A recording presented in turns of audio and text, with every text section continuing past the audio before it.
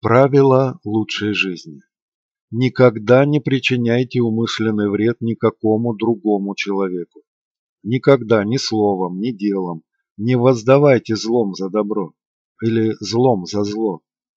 Удалите из своей личности отрицающие и разрушительные мысли и эмоции, или они в конечном итоге станут одной из причин вашего страдания. Оглядываясь вокруг, мы видим трагические результаты, к которым пришли индивидуумы и нации, таящие недобрые чувства или питающие инстинкт мщения.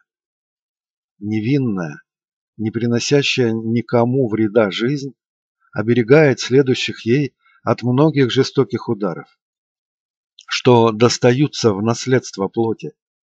Наша критическая позиция и долгая память на зло, причиненное другими людьми, только снижает нашу нынешнюю работоспособность и угрожает здоровью и жизнедеятельности.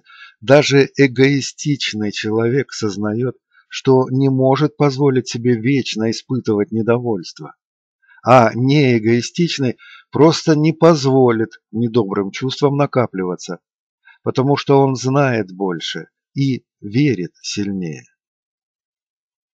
Учитесь расслабляться. Сильное напряжение – крайне неприятная штука. Чем напряженнее мы становимся, тем глупее наши поступки, а глупость, по мнению древних буддистов, главный порог. Сегодня многие из так называемых знающих и энергичных людей постоянно находятся на грани нервного срыва. И это обусловлено не столько перегруженностью работой, сколько необоснованными стремлениями. Некоторые уверяют, что вынуждены перенапрягать внутренние ресурсы, чтобы не потерять работу или содержать семьи, требующие больших расходов. Хотите верьте, хотите нет, но вы окажетесь лучшим работником и лучшим кормильцем, если не выйдете из строя по причине психического истощения в какой-нибудь критический момент, когда потребуются все ваши силы. Если коллеги и близкие этого не понимают, возможно, им необходим практический совет. Развивайте чувство юмора. Мы, как никогда прежде, должны наполнять радостью окружающих и поднимать общее настроение везде, где находимся, в каждом уголке. Чем серьезнее мы относимся к себе и своим обязанностям, тем скучнее становимся. Спасение одно – осознать, что жизнь хоть и серьезная штука, однако не исключено, что мы воспринимаем ее слишком всерьез. Помните также, что настоящий юмор не бывает ни горьким, ни циничным, ни опасным. Это способность смеяться вместе с миром, а не над миром. А если уж нам захочется посмеяться над кем-то, так пусть это будем мы сами. В жизни юмор подобен приправе.